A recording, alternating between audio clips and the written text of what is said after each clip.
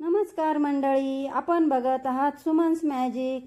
आता पावसाळा सुरू झालेला आहे. यावर्षी लवकर असा पावसाळा सुरू झालेला आहे आणि संध्याकाळ झाली की पावसाला लगेच सुरुवात होती आणि वातावरण पण थंड होतं. अशा थंड वातावरणात गरमागरम भजी खायला खूप छान वाटतं. तर आज तुम्हाला मी आगळी वेगळी बटाट्याची भजी करून दाखवणार आहे. व्हिडिओ स्किप न करता शेवटपर्यंत बघा. तर इथे बघा मीडियम साईजचे मी दोन कांदे घेतलेले आहे कांदा आणि बटाट्याची भजी.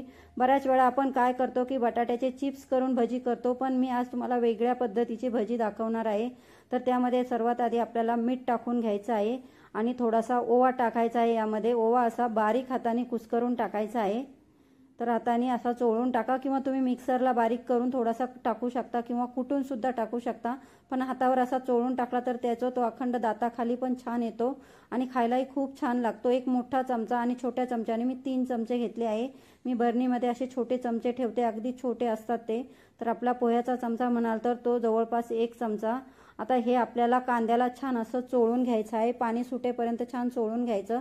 तर बऱ्याच वेळा खेकडा भजी जेव्हा करतो ना तर मी इथे मीठ आणि ओवा लावून ठेवते आणि थोडा वेळ झाकून ठेवते म्हणजे छान असं त्याला पाणी सुटतं. पण यादी मी वेगळ्या वेगळ्या पद्धतीचे तुम्हाला भजी दाखवलेली आहे. कांद्याची भजी पालकची भजी आळूची भजी हे सर्व भज्यांच्या व्हिडिओ मी व्हिडिओच्या खाली लिंक देणार आहे. तिथे जाऊन तुम्ही ते व्हिडिओ नक्की बघा. तर बघा छान असं पाणी सुटलेलं आहे. इथे मी दोन कच्ची बटाटे आहे ना ती किसून घेतली होती. आणि दोन ते तीन पाण्याने स्वच्छ धुवून घेतली आहे. त्यामधला जो स्टार्च असतो ना चिकटपणा असतो ना तो आपल्याला काढून टाकायचा आहे. तर अशा पद्धतीने आपल्याला हे किसलेले बटाटे आहे ना ते यामध्ये टाकून घ्यायचे पिळून घ्यायचे चांगले पाणी गेलं नाही पाहिजे त्यामध्ये. आणि इथे मी एक वाटी कांद्याची पात टाकलेली आहे. कांद्याची पात नसेल तर तुम्ही कोथिंबीर टाकू शकता. आणि कांद्याची पात टाकली तरीही तुम्ही कोथिंबीर यामध्ये टाकू शकता. पण इथे मी फक्त कांद्याची पात टाकलेली आहे. तर एक चमचा हळद आणि तीन चमचे मोठे मी लाल तिखट टाकलेले आहे. कारण पकोडे हे तिखटच चांगले लागतात. कारण बटाटे थोड्या प्रमाणात तरी गोड असतात. तर इथे मी मोठे आपले भाजीचे जे चमचे असतात ना ते दोन चमचे बेसन पीठ टाकलेले आहे. कारण मला अंदाज होता एवढं पीठ लागेल. तर पण तुम्ही टाकताना थोडं थोडं करून पीठ टाका. एकदम पीठ टाकू नका. कारण यामध्ये आपल्याला बिलकुल पाणी वापरायचं नाही.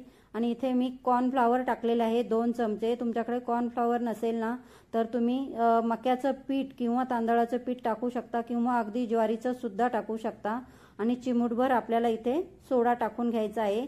तर सोडा नसेल तर बेकिंग पावडर एक चमचा टाका. आणि बेकिंग पावडर सुद्धा नसेल तर एक चमचा कडकडीत असं तेल यामध्ये टाकून घ्या.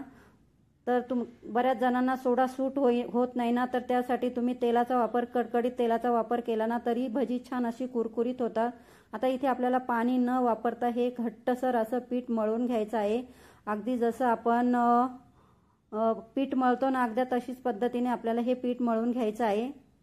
एकही थेंब आपल्याला इथे पाण्याचा वापर करणार नाही. जसं जसं तुम्ही हे पीठ मळाल ना तसं तसं याला पाणी छान सुटतं कारण कांदा पात आणि बटाटा आणि जे कांदा आहे ना त्याला सर्वांनाच पाणी सुटतं. तर बघा अशा पद्धतीचं घट्ट आपल्याला पीठ हवं आहे. तर बघा इथे मी सकाळी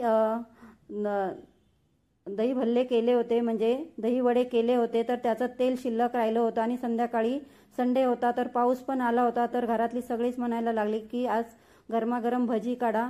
तर त्याच तेलात मी आता ही भजी तळणार आहे. तर अशा प्रकारे छोटी छोटी आपल्याला ही भजी तोडून घ्यायची आहे. तर खूप मोठी मोठी टाकायची नाही कारण ते आतून तळल्या जात नाही आतून कच्ची राहतात. मग ती चांगली पण लागत नाही पीठ पीठ लागतं. आणि कमीत कमी पीठ घ्यायचं आणि जास्तीत जास्त बटाटा आणि कांद्याचा आपल्याला इथे वापर करायचा आहे म्हणजे भजी छान कुरकुरीत होतात. आणि आपल्याला फास्ट गॅसवरच ही भजी तळून घ्यायची आहे. कमी गॅस करायचा नाही. तेल चापलं की आपल्याला भजी अशी सोडून घ्यायची आहे यामध्ये. आणि सर्व बाजूनी आपल्याला खालीवर करून आपल्याला ही भजी छान अशी तळून घ्यायची आहे. तर तेलाचे बबल्स कमी झाले की आपली भजी तळली छान असं समजायचं आणि त्याचा कलर सुद्धा चेंज होतो. कारण ही बटाट्याची भजी असल्यामुळे ही जास्त लाल होणार नाही अशी थोडा पिवळसरच कलर राहतो. पण खायला खूप छान लागतात आणि तेल सुद्धा खूप कमी लागतं. एकदा नक्की करून बघा. जे आपण चिप्स करून जी भजी करतो ना त्यामध्ये तेलाचं प्रमाण हे खूप राहतं. पण अशा पद्धतीने हे करायलाही सोपे आहे आणि तेल सुद्धा खूप कमी लागतं. तर अशा पद्धतीने एकदा नक्की ही याला तुम्ही खेकडा भजी सुद्धा म्हणू शकता. अशा प्रकारे आपल्याला ही भजी बनवून घ्यायची आहे. आणि आता एका प्लेटमध्ये आता ही मी काढून घेणार आहे. तर बघा अशा पद्धतीने छान आपली भजी कुरकुरीत झालेली आहे. तुम्ही बघू शकता दिसायलाही खूप सुंदर दिसत आहे.